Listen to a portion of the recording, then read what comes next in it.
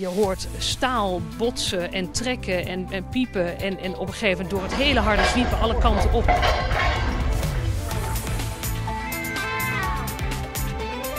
Daar op het hoogste punt ging het mis.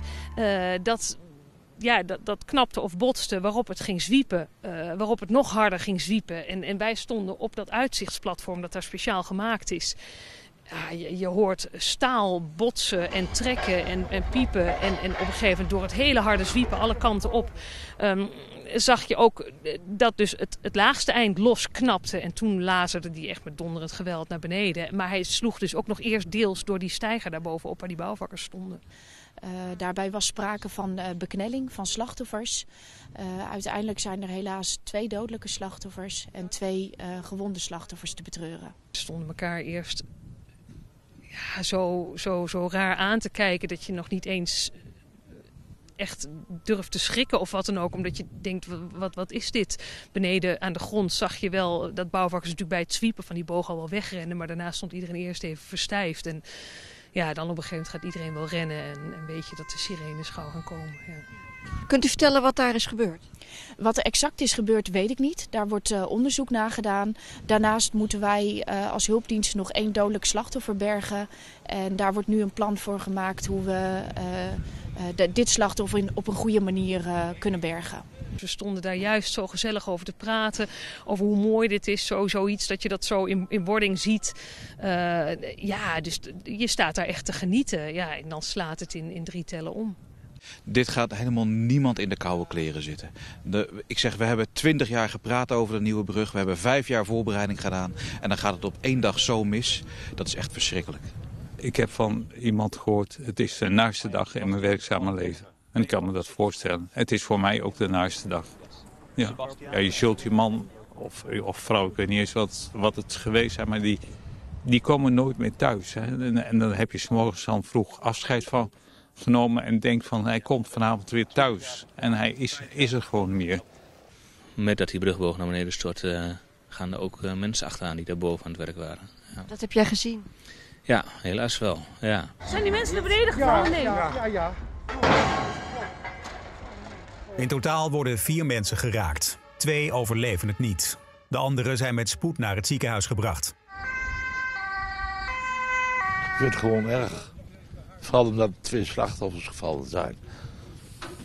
Ja. Dat is wel heftig, hè? Ja, vind ik heel heftig.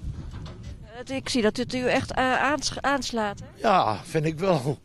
Ik bedoel, het zijn weer twee mensenlevens. Wat er precies is misgegaan is nog niet duidelijk. Op dit moment wordt er onderzoek gedaan. Het is gewoon één grote ravage. Het is uh, allemaal stellingen en stijgers en alles wat er door elkaar ligt. En uh, ja, nou ja, er lopen natuurlijk heel veel uh, reddingswerkers. En, ja. Dus zometeen gaan we live overschakelen naar onze verslaggever in Lochem. Want die heeft nieuws over het dodelijke brugongeluk daar.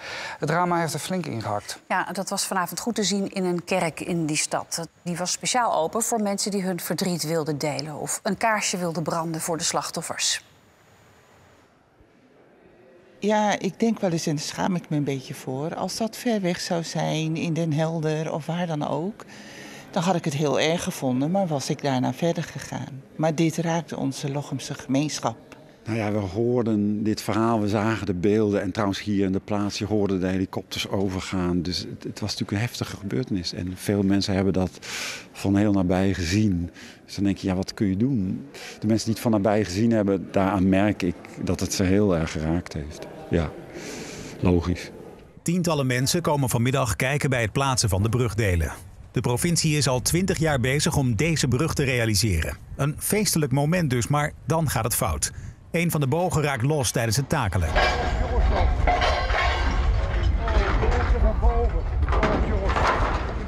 naar beneden gevallen. Zijn die mensen naar beneden gevallen? Nee. Ja, ja, ja. Twee mensen overleven het ongeluk niet en twee anderen worden met spoed naar het ziekenhuis gebracht. Jong tot oud staat vanavond in Lochem stil bij de slachtoffers. Mijn man kwam net thuis en die gaf dat aan van god, wordt in de kerk, uh, kun je een kaarsje aansteken. En toen zei mijn zoontje van, nou kom mama, dat gaan we doen voor ja, wat er gebeurd is. Het medeleven voor, voor, uh, voor de slachtoffers en de nabestaanden. En vooral ook omdat hij er toch wel een beetje mee bezig was van uh, ja, hoe heftig het eigenlijk allemaal was. Ja, en in staat onze verslaggever Pieter de Graag. Pieter, jij hebt nieuws.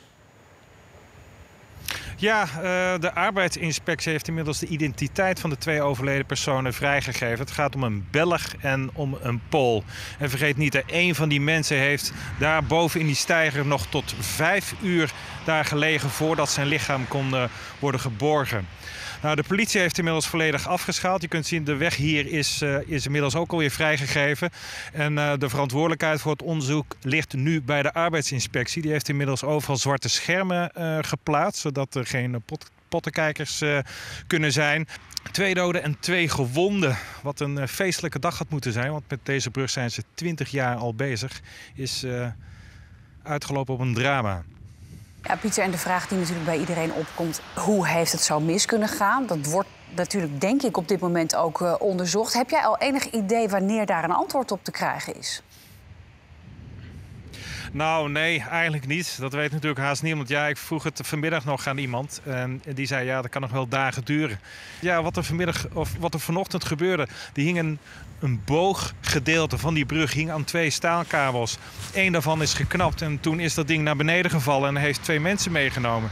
Ja, en hoe dat precies heeft kunnen gebeuren, ja, dat weet haast niemand. Hoe die staalkamer heeft kunnen breken, daar kunnen we op dit moment uh, alleen, alleen maar over speculeren. En dat gaan we dus niet doen.